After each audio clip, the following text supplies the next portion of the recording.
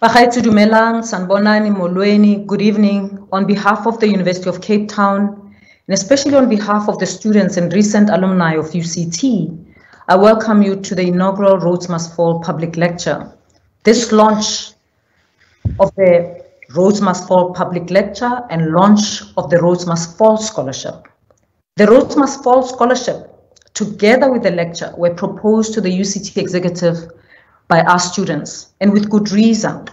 The protest action that led to the removal of the Rhodes statue on 9th April 2015 was initiated by UCT students.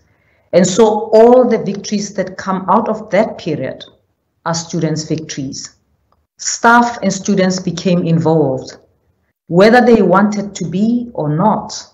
Simply by being on campus, they were involved. Parents and alumni expressed their concerns and their support or condemnation for what they were seeing on the media. Lines were drawn that still stand out in bold relief today in discussions about higher education. It was a historic moment, and that historic event did not stand alone. It triggered protests around the world against the power of colonialism, particularly in the UK and the USA. And since then, activism has continued in this country around other causes such as fees must fall, patriarchy must fall, outsourcing must fall, and many other falls.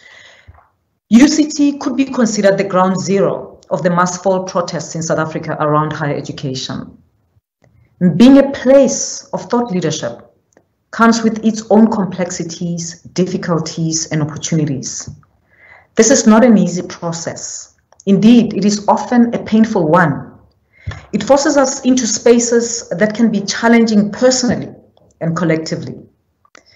So with this in mind, on behalf of UCT, we are grateful to all of you for the ways you have taken the brave decision to engage with uncomfortable ideas. The proposal by student activists to establish the Rhodes Must Fall Scholarship and an annual Rhodes Must Fall public lecture provides a platform for us to establish thought leadership that can lead us into the future, not just as an educational institution, but as a country and as citizens of the world. It is also a step towards healing and growth as a society and towards development of new voices in the discussion about the future of our country. We are a wounded society shouting at each other across the picket lines, our wounds became much deeper. And the deeper the wound is, the more you bleed. Six years down the line, we are still bleeding and our woundedness haunts us. But here's the thing we, we do not want to fall in love with our wounds, as sometimes it happens with the wounded. Because if you, we fall in love with our wounds, we might just start feeling that all these wounds are not enough. And we may just start cutting ourselves deeper, forgetting when to stop. So with this launch today, it is time to acknowledge our woundedness and start finding each other again. One step in this direction is to listen to each other and to allow an exchange of ideas and feelings to arise out of that listening. It, doesn't mean that we have to agree each, with each other all the time, only that we commit to hearing each other. UCT's mission is to raise up thought leaders who can contribute to knowledge and socially responsive solutions to the hazards we come across as we develop South Africa's new democracy. To help put the Rhodes Must Fall movement into context, want to introduce one of the alumni who was active in the movement at the time, Mr. Lindokuhle Patiwe. He's a research consultant at the Institute for Advancing Worker Justice and Legacy here in Cape Town. He's also a member of the Youth Policy Committee for the South, Africa, uh, for, for the South African Institute of International Affairs. He graduated from UCT with a degree in politics, philosophy, and economics in 2019. Mr. Patiwe, welcome. Over to you, Lindokuhle. I think we must thank the, univers the University of Cape Town's Council for agreeing to the proposal um, for the establishment of the Rhodes Must Fall Scholarship. Um, when I entered the Rhodes Must Fall movement, it was a very weird um, and very interesting time. It was on a Wednesday in 2015 when Chumani Maxwele threw the poo uh, or the feces at the start of Rhodes Must Fall. And for me, it was a familiar yet unfamiliar smell. Familiar in the sense that I came from a place in the world or in South Africa where this smell was normal to me. But it was not normal because I was at the University of Cape Town. And I thought that this is not something to be. The 9th of March, when Chumani Maxwele threw the pool, signaled what I call a zero axis for black politics at the University of Cape Town. Rhodes Must Fall is a movement of both staff, students, and at the time, because of outsourcing workers, which at its very core fights for against the institutionalization of whiteness within the university and within society as well. It is a, movement that forces itself to say that black people must find a voice to, ex to explain um, their blackness in society and how they give voice. It, it is a movement that gave us voice within the institution. It was that which gave us speech to explain many of the things that we could not explain. It was that which gave us speech so that we can tell our experience. Uh, Pastor Klaus Kosana once said that if we cannot see ourselves within the architecture uh, and the curriculum of the university, we therefore are not there. The Rhodes Must Fall movement gave us that architecture. It gave us that speech in which we can say that we are part of the thing. We are part of UCT um, it was able to, both within the university and outside of the university, to tell us the problematic about the about black people, how black people find themselves in the world. And I think that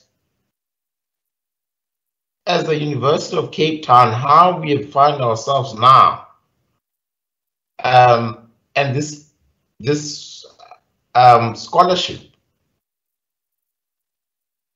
is a very good thing. We need to ask ourselves, though, in the sense that if the scholarship is for students in the University of Cape Town, we must ask the question to those who are going to apply to the scholarship. Can Rhodes Must Fall be institutionalized. As a critique to the institution itself, uh, the question has to be asked whether the Rhodes Must Fall is an institution that wants to itself become institutionalized. And I think these are very interesting conversations that the those who will be lucky enough to get the scholarship to ask as a, as a critique to the institution and how and how the University of Cape Town treated Rhodes Must Fall. Many questions have been going around whether does the University of Cape Town have the right to put such a, pro, a project in place? And we think that this is a good thing for those who are going to be applying for the scholarship to ask this thing. But it is proper to foreground what does Rhodes Must Fall mean? What does Rhodes Must Fall stand for? What Rhodes Must Fall stand for is the fact that black people in society generally are not part of society. We can vote, we can all we can do all of those things, but we are not part of society. We and before 2015 at the University of Cape Town, as black students and black staff and black workers we were unable to give speech to what we we're experiencing. It was something that was there, but at the same time, we could not explain it. And the throwing of the pool by Chumani Maxwele on the 9th of March gave rise to many conversations on campus. Rhodes Must Fall was a movement that says Rhodes must fall, and Rhodes must fall must not fall in the sense that the statue itself must fall. But the idea of colonialism, because we saw Rhodes as the symbolic of colonialism, and was not necessarily a UCT thing, but because we had UCT, UCT was the starter of everything. But what Rhodes Must Fall symbolizes, or what Rhodes Must Fall fights for, is a complete decolonization of society as a whole, both at the localized level of UCT, but generally society, South Africa, Africa, and the world. And we came up with three principles. Black radical feminism, um, black consciousness, and Pan-Africanism. Because we saw these three pillars as the center of a radical politic in society that can liberate society. What can society, how can society look better from what it is? And the question must be asked then, six years on, what has been the gains of the movement? And how has the university, which the movement was based on, can critique how has it gone in terms of the critique that was given by the Rhodes Must Fall movement? There are some uh, success that we can claim in terms of the institutional reconciliation, the uh, re institutional reconciliation uh, process that happened at the University of Cape Town. What have what have been the uh, the process that happened afterwards? We don't know.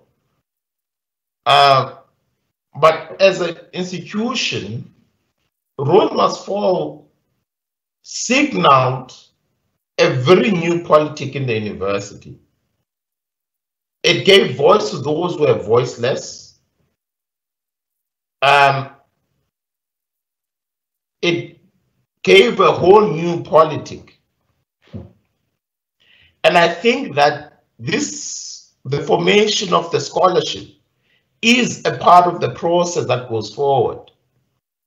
It is up to those who take up the scholarship to ask these deeper questions about what, at an ethical level, how, how is it so that the very institution that was critiqued by the movement is the one that gives the scholarship? Can it be that within the institution itself and how the institution is formalized, that we can have a radical politic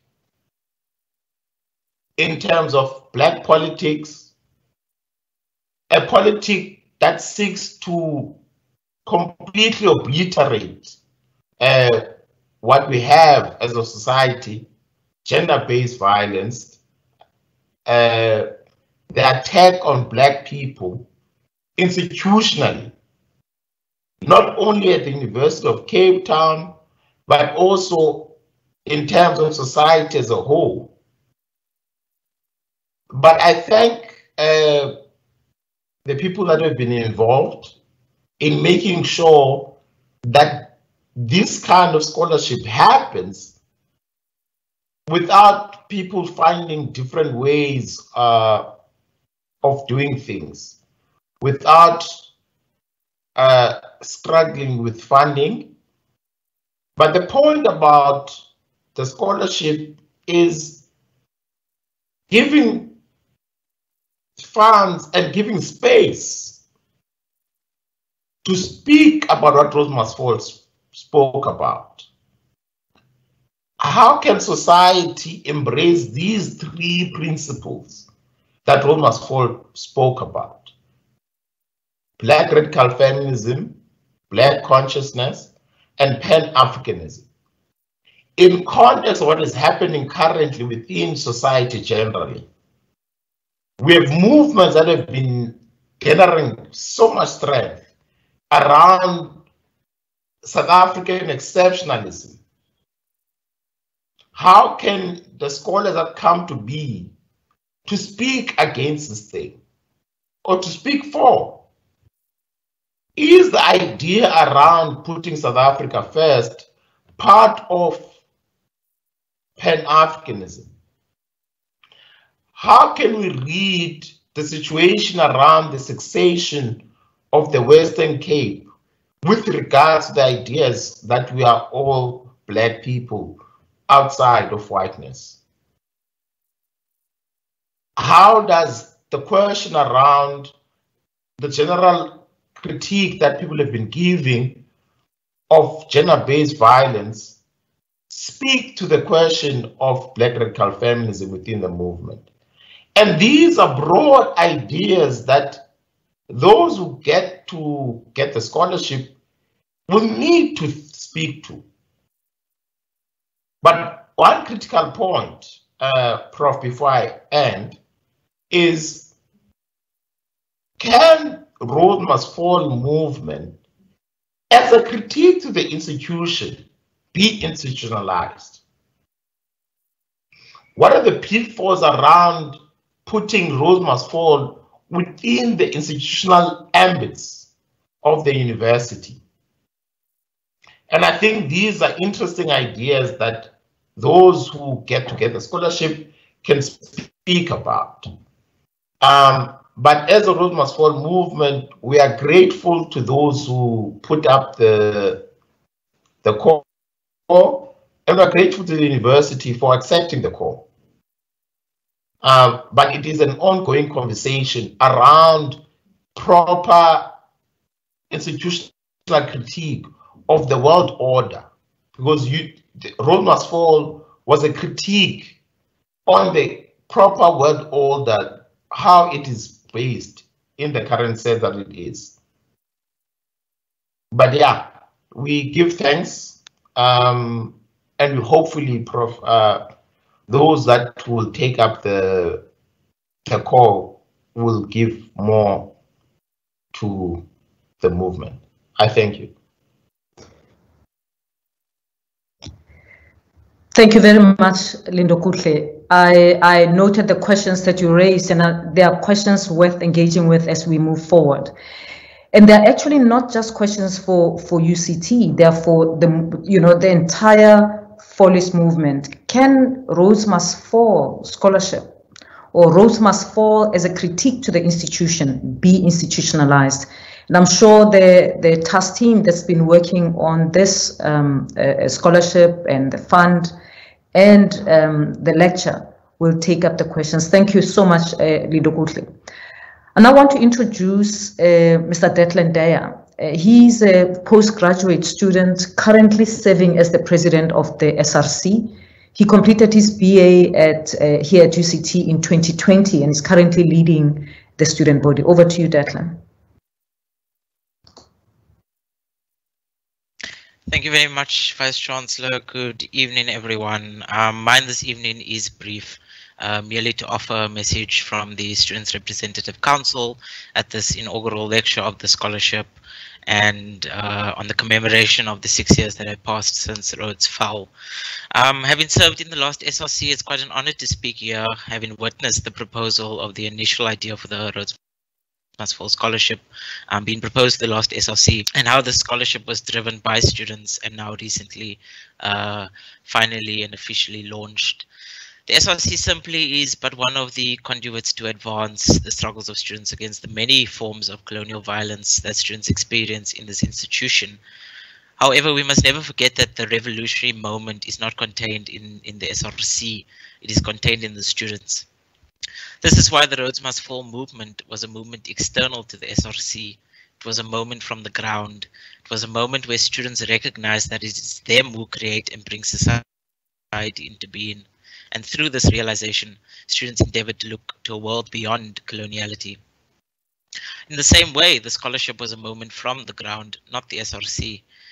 We therefore thank the activists, the leaders, and all other students who played a role in the formation of the scholarship, um, its journey from idea to what it is now, um, and, and who st stood with the project and saw through to fruition.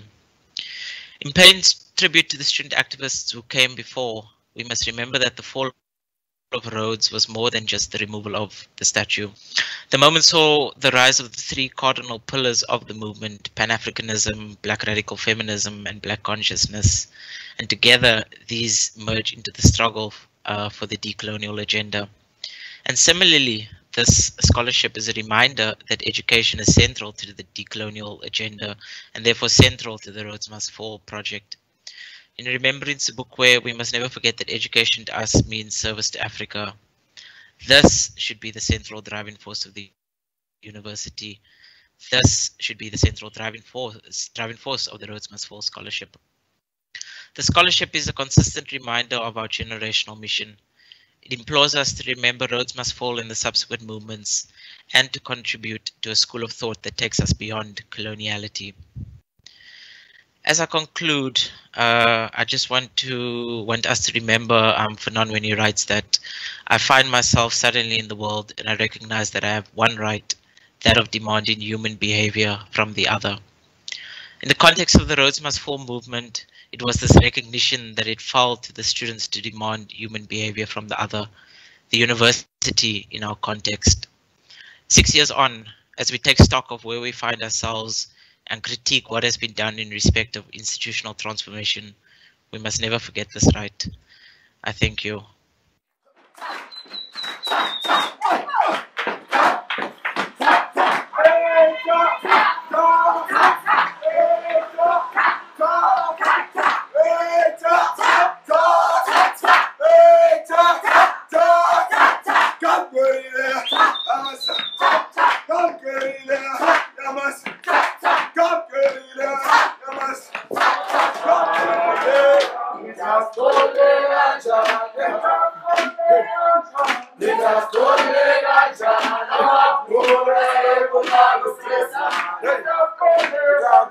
Let's go,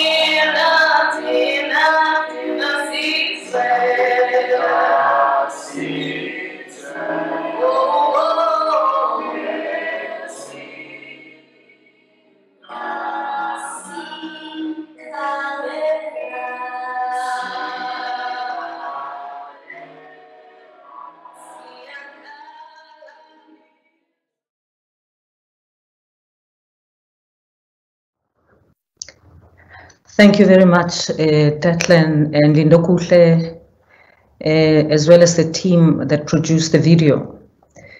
Well, as, as Declan and, um, and Lindokuhle said, and all of us will say, the Rhodes Must Fall movement was not just about the Rhodes statue falling. It was the key catalyst in the decoloni decolonization project. And whether we like it or not, the Rhodes Must Fall movement has changed the way we think about the production of new knowledge across South Africa, on the African continent and abroad. Activism inherent to Rhodes Must Fall has served to stimulate in-depth analysis on the decolonization of education and curriculum transformation, as well as the meaning of fallism as an institutional critique and the legacy of institutional racism. So launching the Rhodes Must Fall Scholarship is about continuing the work of decolonizing the curriculum and revisioning the role of the university in knowledge production.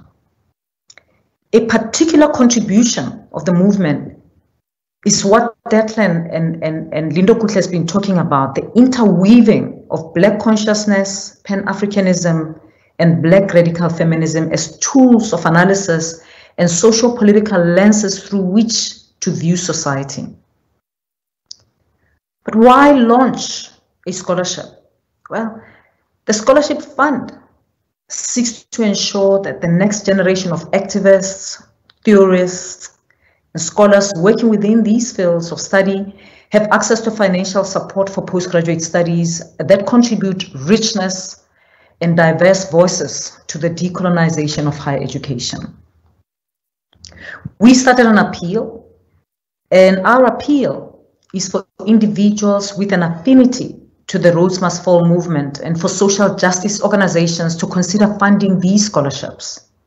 And with this appeal, we have so far managed to raise a little more than 100,000 rands. And I urge all of you who are joining us at this lecture to consider giving to the Must Fall Scholarship. L let me tell you, every little bit counts. And tonight, I want to announce that I pledged 10% of my salary to the Rhodes Must Fall Scholarship. So 10% of my salary per month will go to the Rhodes Must Fall Scholarship. Many of you would know that I'm already pledging, I already contribute 10% of my salary to a scholarship through which we fund Black South African postgraduate students. So this is the second 10%. So which means every month, 20% of my salary will go back to supporting students. First, the black women, black South African women, postgraduate students, and now the Rhodes Must Fall Scholarship. UCT is also establishing an endowment fund to support future generations to access such scholarships. And we will start immediately with offering the scholarship next year, even if it is just one student who gets the scholarship, it will start immediately so that a student can start in 2022. We are committed to raising scholarship in this area. It is not enough to talk about Rhodes falling. We want to see the scholarship that was ignited then growing and the people who drove it being at the leading edge of that scholarship. I want to move on to now launch the annual lecture. And to launch this annual lecture, we have invited Emeritus Professor Njabulo Ndebele to speak from his own deep experience of the struggle, of protest, of higher education and academic debate. He chairs the Nelson Mandela Foundation and the Mandela Rhodes Foundation and is the Chancellor of the University of Johannesburg. He is recognized around the world as one of South Africa's most distinguished writers, critiques, educationists, and public intellectuals.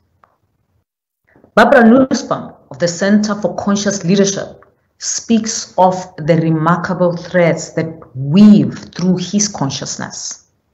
Threads that emerge from his life as a South African who grew up in apartheid and has helped to shape our thinking as a democracy.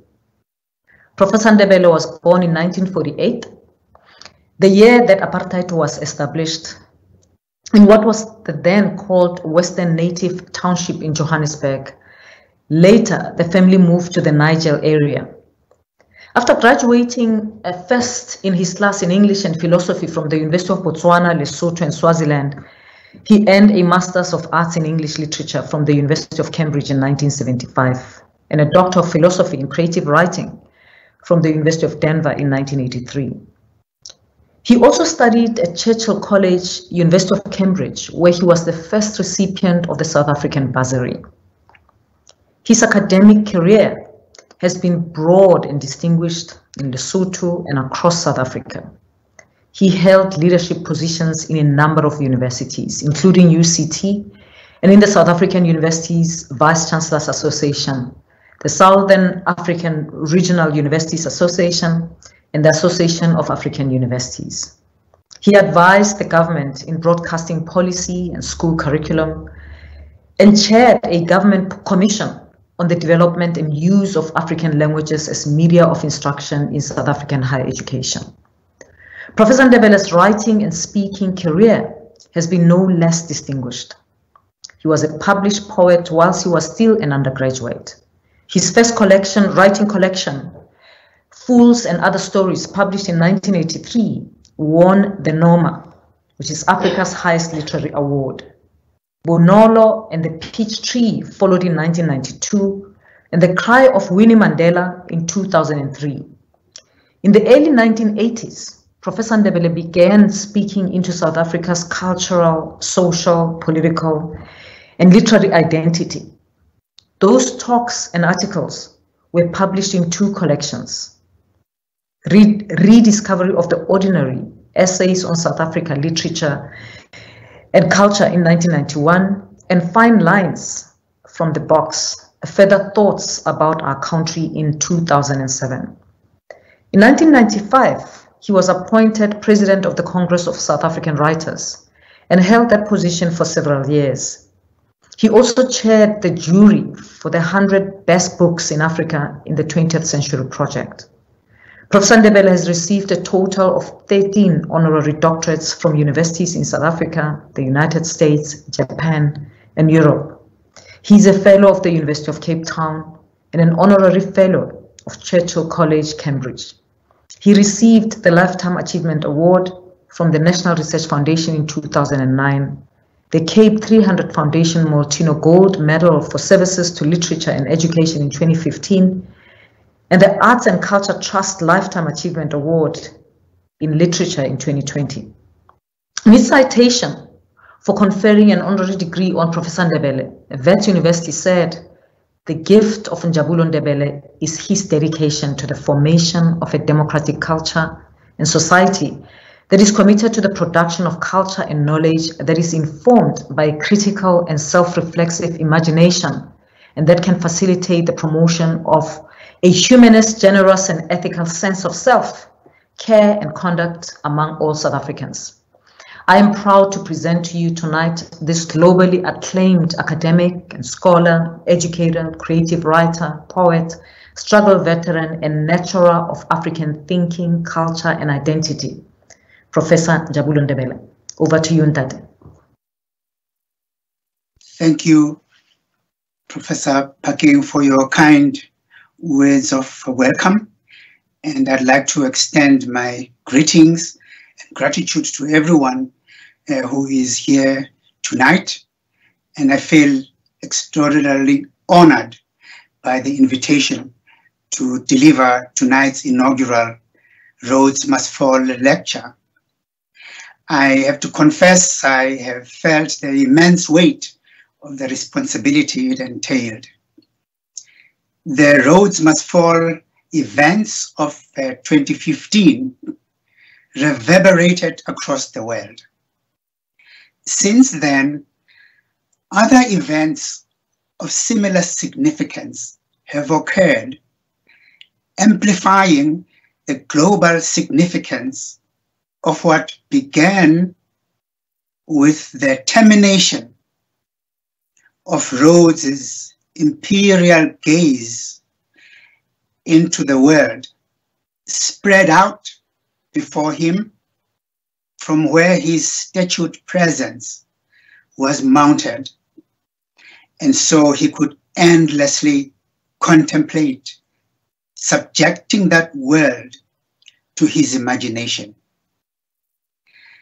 An immediate effect at home was the fees must fall movement. Beyond home, these events could be deemed to have occurred consequentially. For example, at Oxford University, where Rhodes is commemorated. Other events were to occur independently in other parts of the world.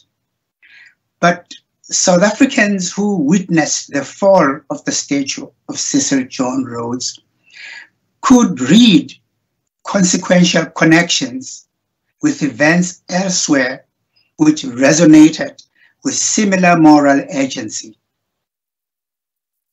The international resonances of the fall of Rhodes' statue were immediately evident.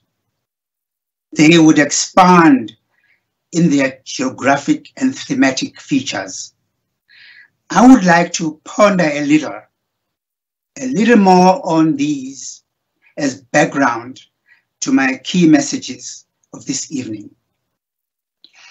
First, to state the obvious, that the few English, that few English people at the end of the 19th and the beginning of the 20th centuries expressed so vigorously the international character of the spread of unbridled capitalism as the economic system of choice around the world. And in particular, in Africa, as Cecil John Rhodes, the mining magnate and politician who became prime minister of the Cape Colony. In Africa, the continent, the possession of which gratified the egos of European nations, Rhodes would, as it were, have his own two countries, Southern Rhodesia, Northern Rhodesia. With his entrepreneurial and land grabbing energy, nothing would stand in his way from Cape to Cairo through a continent where the armies of European nations had spread the forceful terrors of occupation and expansion. Meanwhile, in that other land, the United States of America, much of the drama of conquest and expansion had already occurred and completed. There, in 2017, just over 100 years after Rhodes died, and two years after his statutory fall from grace, US President Donald Trump would step onto his country's political stage to treat himself to national and global notoriety.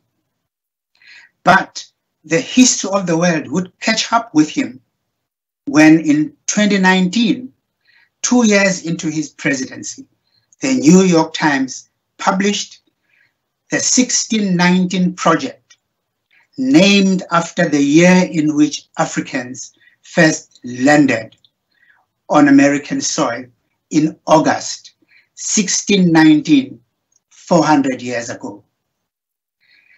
The intention of this extensively researched project was to place at the center of American national story the contributions of Black Americans to the economic success of the foundations having of the country, having effectively laid very strong foundations indeed with their lives. The accomplishment of this project in extending the American public's awareness of how slavery defined the character of their society was, in my view, enormous.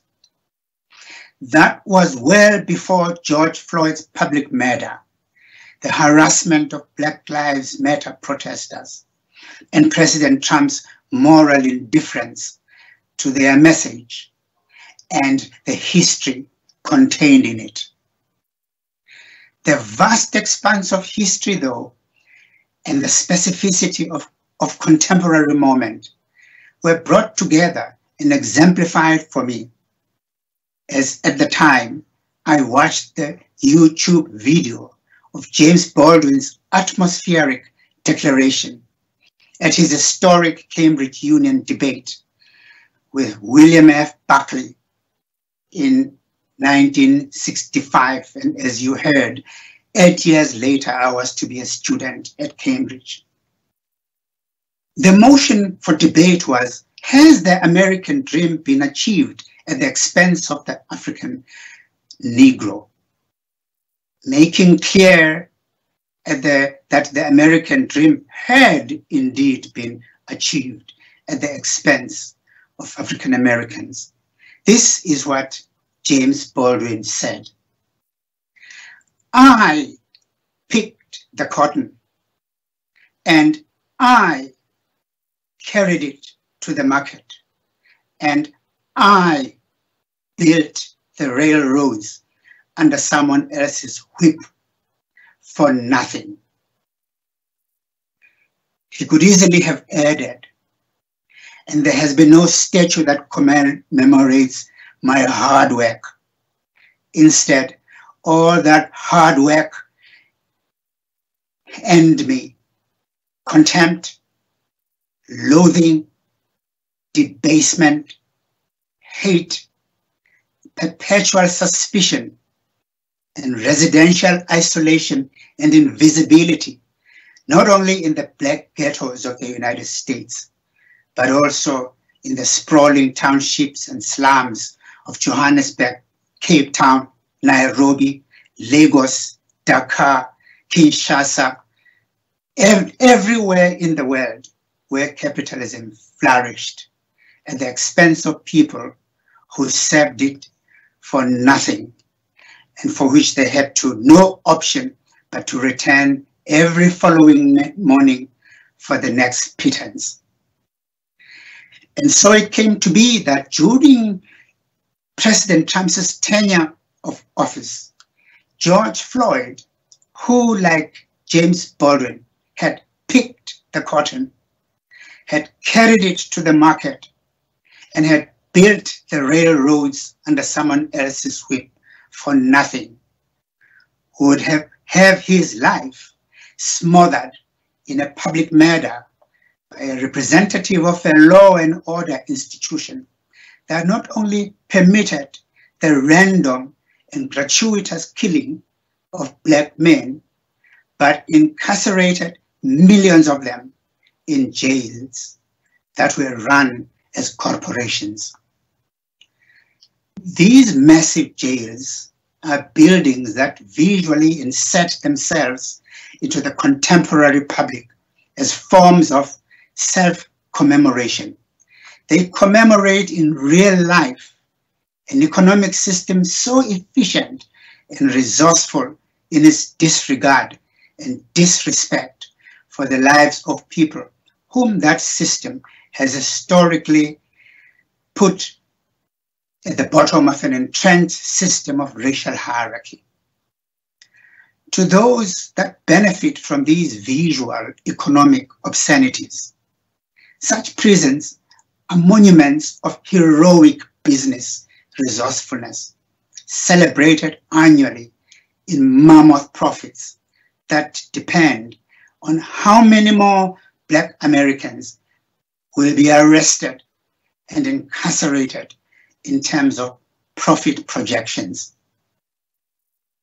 So we, are, we can contemplate another statue, this time of an American police officer, his hand in his pocket, his knee on the neck of a distressed human being, frozen in a live statue that depicts a man whose self-assurance is solidified at that moment in his conduct at what he had been trained for and procedurally permitted to do to the kind of people who built the United States without due recognition, even recognition for having suffered for it. I end this segment of my talk with another international moment, COVID-19. Of this, I will let the Secretary General of the United Nations speak it on his, in his own words at the 2020 Nelson Mandela Annual Lecture. His words are structured and read like a poem. COVID-19, he said, has been likened to an X-ray revealing fractures in the fragile skeleton of the societies we have built. It is exposing fallacies and falsehoods everywhere. The lie that free markets can deliver health care for all. The fiction that unpaid care work is not work. The delusion that we live in a post-racist world. The myth that we are all in the same boat. Because while we are all floating in the same sea, it's clear that some of us are in super yachts while others are clinging to the floating debris. So what is common then between Rhodes Must Fall, the Project 1619, Black Lives Matter, James Baldwin debating with William Buckley, the public murder of George Floyd and COVID-19? What they mean is yet another attempt by oppressed people to the to lift the heavy veil of the world ignorance of white supremacists who, blinded by their profits, are unable to and do not want to see and know how they have debased and devastated the human and the natural landscape for people in the world that don't look like them. Drawing on the work of Charles Mills and his reference to world ignorance as what he says, the epistemology of ignorance. Clarence C. Gravlee, in an article titled How Whiteness Works, the Journal of the American Medical Association, and the refusals of white supremacy, lists what he calls five white supremacist refusals. One, there is the refusal of the other's humanity. and tolerance for perpetual violence and exploitation. Two, there is a refusal to listen or acknowledge the experience of the other.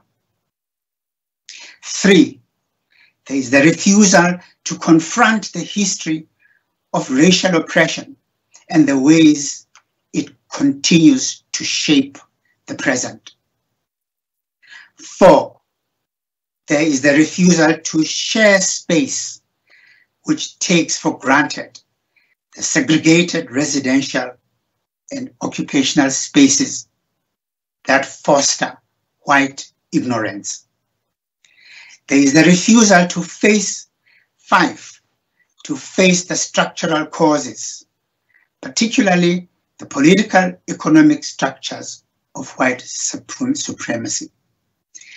Now, such refusals, in my experience, tend to characterize the relationship between the so-called races in which the oppressed race will tend to know far more about the oppressor than their oppressors would ever know about them, even as they may claim superiority and a knowledge of all things. This is because the oppressed were compelled, forced to travel to work in their homes, businesses, factories, and institutions of their racial tormentors. It is there that the oppressed got to see through the weak armor of self-delusions of superiority in the day-to-day -day of just people being themselves without the masks.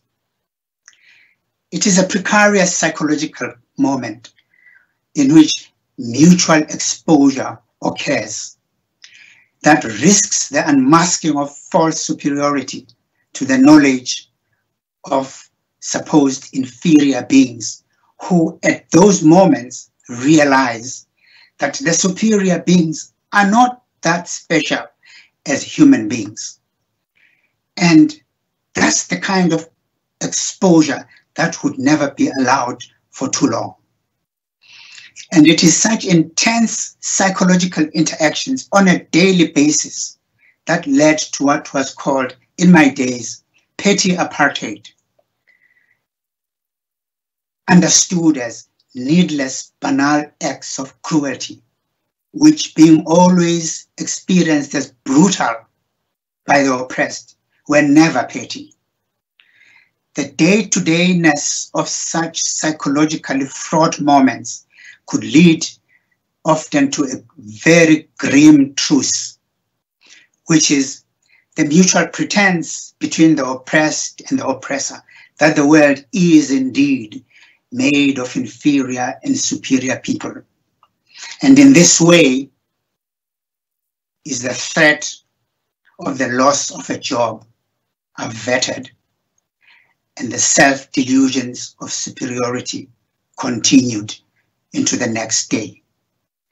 So buttressed by the existential assumption of the world of the oppressed is benighted in ignorance white supremacists remain oblivious to the depth of ignorance into their own lives that have been encased in a locked vault of their own making.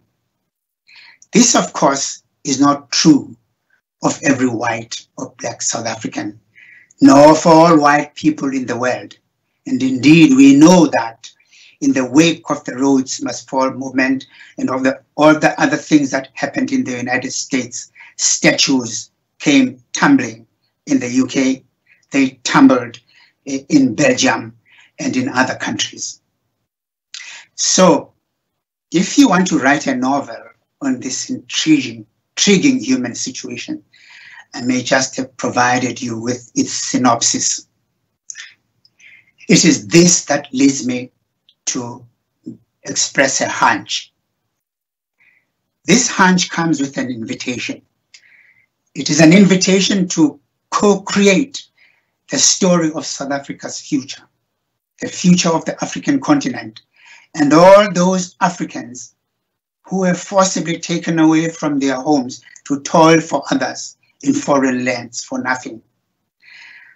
But when they did, their toil became the source of their own sense of ownership of that world. So when the people, the people in dinges cross the Mediterranean, they are following the toils of their ancestors that led to the enrichment of Europe. That community spread around the world. It is now calling for a future in which it seeks to realize itself, free from the enforced concealment of their human worth.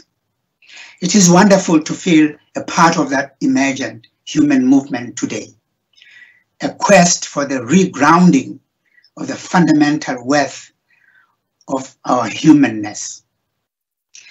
But let me come to my hunch. It comes directly from the central question of this evening. What will rise after the fall of Rhodes? It's a rhetorical question.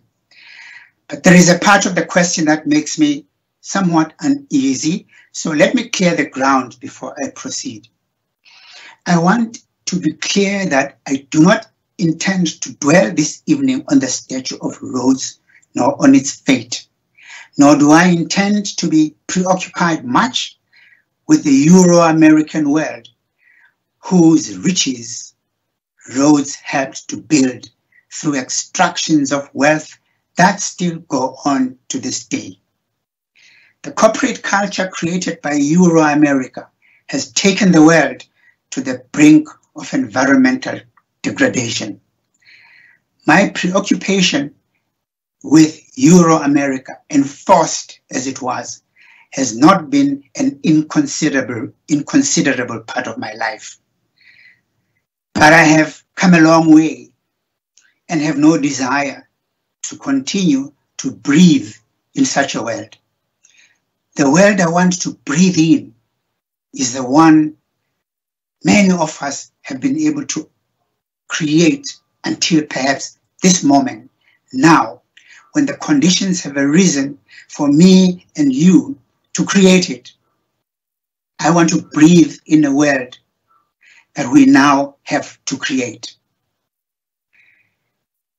I have a hunch that up to 70% of South Africans, or even more, of all backgrounds, belong without knowing or acknowledging to a cosmopolitan community they have yet to visualize and to experience. Yet, I believe they feel its vibrations tugging at their intuitions. It exists only as hope and the intuition that something has been ending and is now ending, but it is not quite clear what it is that is about to begin. This cosmopolitan community is profoundly restless, and happy with the present moment, feeling deep inside of them the pressure of a future they sense but are unable to visualize despite a constitution that would enable them to achieve it. So the question, what is the content of life which in the achieving of it could be facilitated by the South African Constitution admired in South Africa and around the world. My hunch is based on a historical fact South Africans tend to forget. It is that when white South Africans held a referendum on the 17th of March in 1992 to give their government a mandate to negotiate with the ANC, close to 70% of white South Africans gave their government that mandate. I do not think when the criticisms fly and the angers fly, that this outcome is sufficiently acknowledged and accorded appropriate historical weight. They chose finally to begin a new journey into the future with their black fellow citizens. Whatever the merits or demerit, the merits of the outcomes of the enabled negotiations, the fact is our future was negotiated, not fought over, because everyone acknowledged the potential destructiveness of a racial civil war which would guarantee a bleak future to all, not discounting the fact that a struggle of over a century does result in fatigue and tiredness and a desire for something new to happen. But it is also to be acknowledged that many lives were lost in the in between. So the complexities of that outcome are part of the story of a still emerging country that we must all continue to write. And now I draw towards my conclusion. I share some thoughts about the content of the life that could be envisioned. As a conceptual background, I express the view that the life of nations, in the life of nations, misfortunes of all kinds in particular, those that lead to wars between nations and, and ethnicities and families in local settings, often lead to congealed behaviors which, viewed against the future perspective, can either confine or liberate. It is in real life calibrations between confinement and liberation that the future unfolds. For us, after a century of struggle, the desire for freedom finally removed undesirable confinements. Some social processes take long to coagulate into their either their worse or better forms. This perspective leads me to the following understandings. First, I believe that we have evolved into a cosmopolitan country, which is part of a cosmopolitan continent, often described as the most culturally diverse continent in the world. I make the bold assertion that if we want to unbundle what was summarily divided up in Europe in 1885, the cosmopolitanism we have evolved into be considered a foundational value for the future of our country and our continent. It does not have to change the meaningless borders that retain a former reality, but it can make them wither away. And I will speak to the South African experience as I have understood it by example.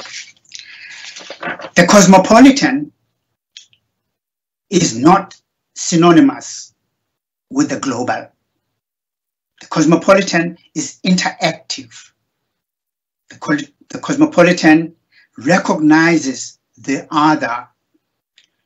It is not intimidated by the strangeness of new people that come along on the road of life. It is open minded. It is respectful. It is open to community. It is thoughtful. It is empathetic.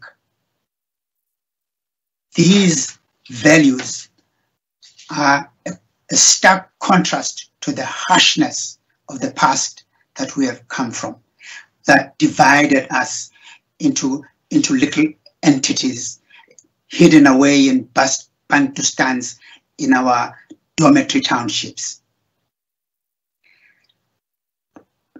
Coming back to our the experience that I wanted, I referred to. Once the British had defeated everyone in this part of the world, they began to administer conquest for their benefit. A great population dispersal began that even King Shaka would not have imagined. Hundreds of thousands of the descendants of those were dispersed by Shaka across the entire subcontinent of Africa converged at the gold mines and the industries of South Africa. in congregations that gave effect to the first multinational, multicultural, multi-ethnic world envisioned by the founders of the African National Congress.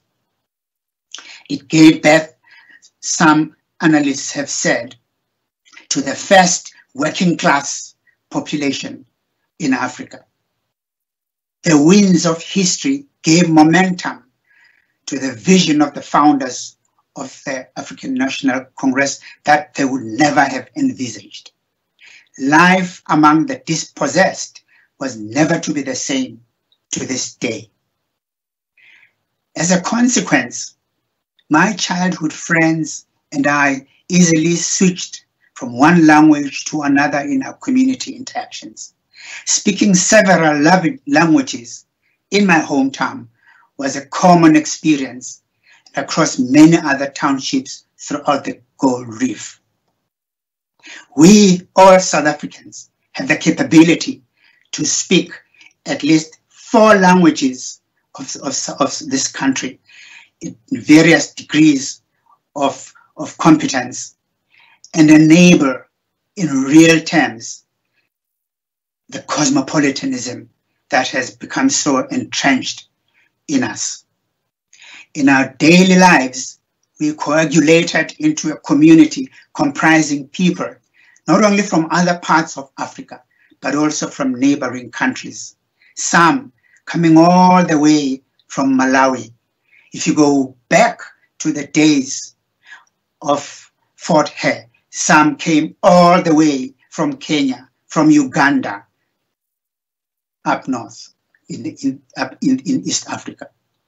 I remember all this with an affectionate memory. I remember too that the small class of formal traders, teachers, nurses, social workers, priests from various religious traditions, home-based artisans, factory and domestic workers interacted across class very easily living side by side in the different homes. And I believe that it is possible then, when we talk about redesigning of townships and new special environments, to design environments that accentuate contact among residents across multiple potential social barriers, and that such an environment does not have to be modeled after our current legacy of township lives. Yes, we built a lot of new townships uh, since 1994, but they were the same difference. In fact, we have left untouched the special design of South African landscape and the townships that were designed as dormitories.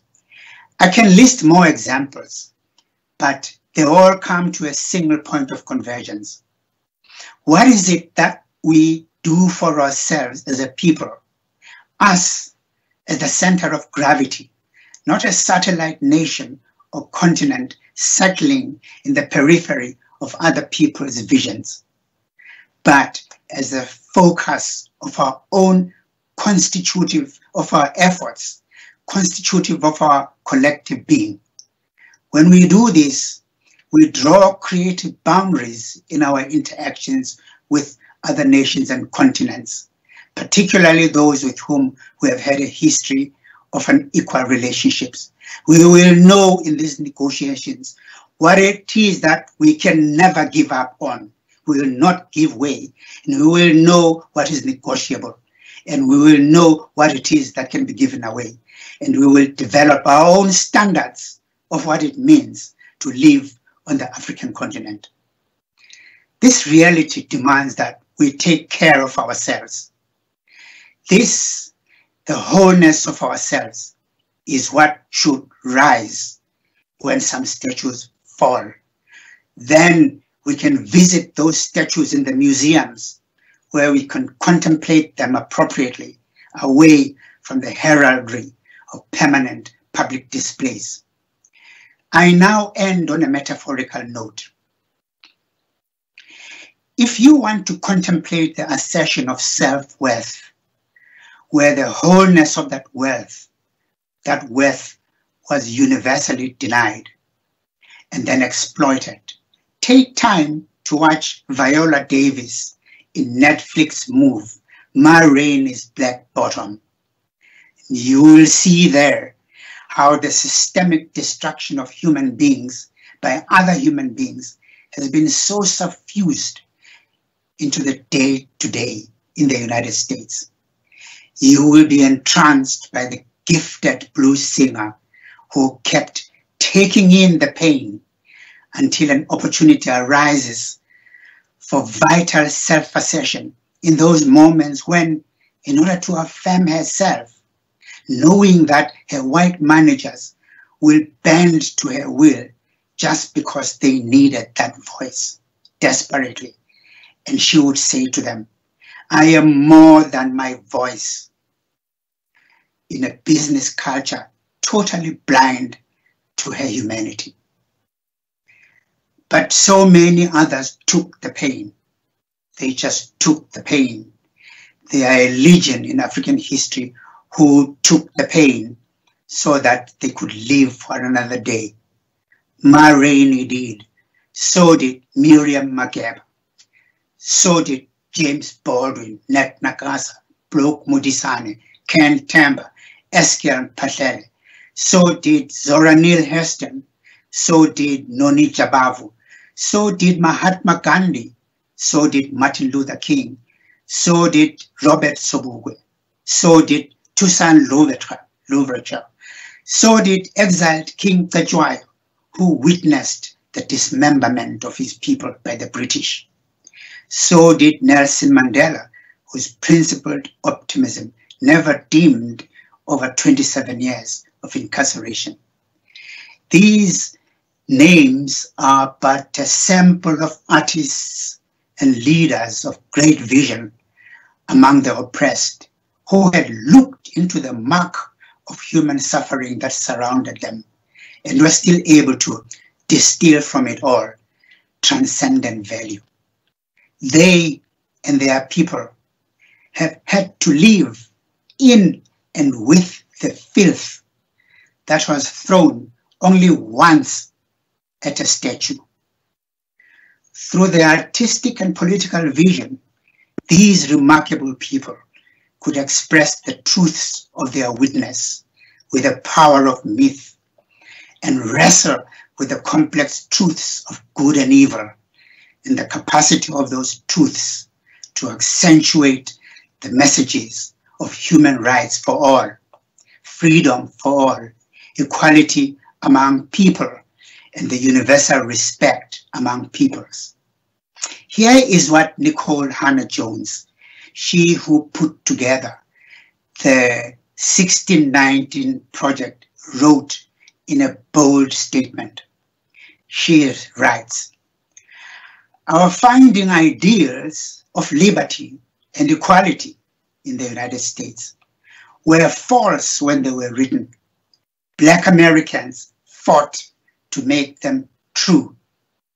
Without this struggle, America would have no democracy at all. The oppressed are indeed the future of transcendent value. These words re resound profoundly with Paulo Freire, whose book, Pedagogy of the Oppressed, I read as an undergraduate student in Lesotho in the early 70s, and its insights have lived with me intimately to this day. Somewhere in the book, Freire writes, This then is the great humanistic and historical task of the oppressed, to liberate themselves and their oppressors as well. End of quote. So let your essence be the source of your creativity. That is what will give energy and shape to our economy, to our politics, to our religion, to our culture, to our schools and universities, to our communities, and in our interactions with our fellow citizens and with other nations. That is the wish and the dream I have, and which I live and share with you. Ladies and gentlemen, thank you very much. Professor Ndebele, thank you so much for sharing with us your insights into the meaning of protest in democracy, and especially in higher education. Earlier, when I was introducing you, I referred to what Barbara Nussbaum, how Barbara Nussbaum um, uh, speaks of you. And when she says, uh, talks about the remarkable threads that weave through your consciousness. And in your talk this evening, you have given us a glimpse of those threads. They emerge from your life and scholarship as a South African who grew up in apartheid and helped to shape our thinking as a democracy. Your talk this evening illustrates the timeliness of continuing to discuss the Rhodes Must Fall movement because it was a signal to us of what the world is beginning to understand through the effects of climate change, the pandemic, the widening gap of poverty and inequality, the epidemic of gender-based violence, the Black Lives Matter protests of last year, and the testimonies we have been hearing in the trial of the man accused of killing George Floyd. The value system that has brought the world to this point is flawed and unsustainable. Our survival as human beings requires us to revise and uphold life-affirming values. And Prof. Ndebele, you, you, you, you have challenged us to consider this question what redeeming values will drive the next world and where will they come from? Years from now, children may ask us why it was necessary to remove the statue from the UCT campus. With guidance such as we have received tonight, I trust that we or those who come after us will offer those children a way to think about their own role in the democracy they will live in and opportunities to think through and discuss differences of opinion, to create peace and justice in their world, and to affirm the humanity of every individual. Thank you so much for offering yourself into this, our project collectively. thank you to everyone who joined us tonight, especially to the students who spoke, Declan and Lindo Thank you very much. Good night.